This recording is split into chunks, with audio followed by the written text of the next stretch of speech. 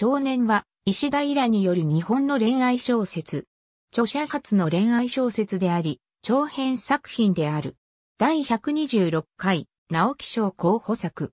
続編に青年があり、両作とも広大区古作画で漫画化され、オフィス U で連載されていた。女性にもセックスにも楽しみを見出せない大学生の寮は、ある日、女性向けの会員制ボーイズクラブのオーナー、御堂静香に誘われ、小夫の仕事を始める。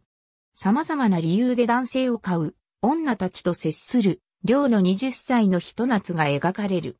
舞台化され、2016年8月26日から9月4日まで、東京芸術劇場プレイハウス他で上演された。主演は松坂通り。2012年の映画、今日、恋を始めますにて主演の松坂の母親役だった高岡咲が御堂静香役を務め、舞台上で濡れ場もあると言われている。また舞台版は続編小説の青年の内容も含んだ形となる。R-15 指定。2018年4月6日に全国73巻で公開された R18 指定。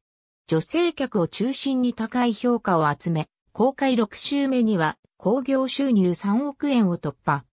応援上映を望む声が相次ぎ、日本で初めての R18 指定作品女性限定応援上映が5月30日に池袋ヒューマックスシネマズで開催決定。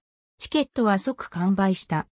2018年10月27日に急成したエヴァンズの映画作品の遺作となり、監督の三浦が追悼コメントを寄せた。